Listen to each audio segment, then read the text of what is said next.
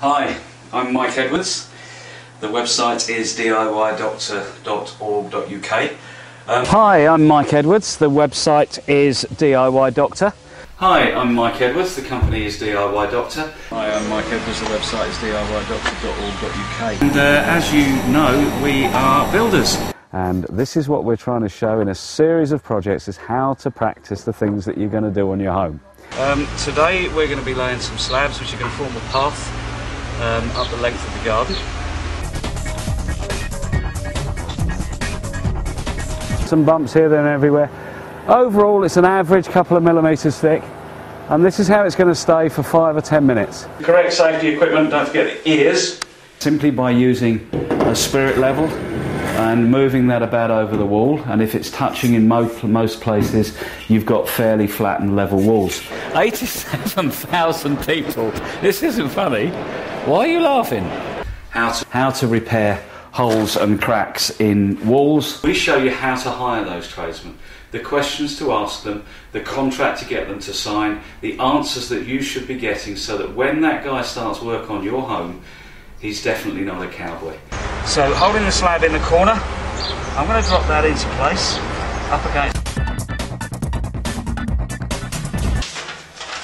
This, ladies and gentlemen, after six or seven minutes of research, is a bunny template.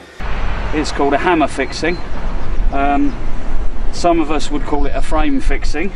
Um, and it's used for fixing timber or well mostly timber to be honest um, it doesn't work so well with with metal but mostly timber to masonry surfaces Mike Edwards is a DIY doctor very much at home with a pair of pliers in his hand, although he's forgotten them this morning. He's here. And so, looking at some tools that have been sent us uh, so that we can test them and tell you how, how good or how bad they are. A very useful little tool, and I'll run through it with you uh, as we go.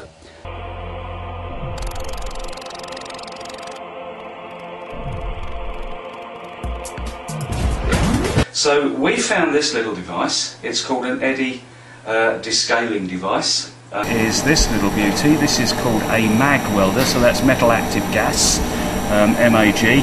15,000 people sawed themselves. Six and a half thousand ground themselves in some way or another. That the trigger itself comes obviously with a length of hose, small high pressure hose, um, and you simply push the hose into the outlet and tighten the locking nut into place as you can see me doing there. Of the driver, up pops the rest of the shaft. So you have an ordinary screwdriver, but it gets better. 6,000 hammered themselves, 4,000 chiseled themselves, 3,500 screwed themselves, 3,000 drilled, drilled themselves, and 2,000 axed themselves into hospital.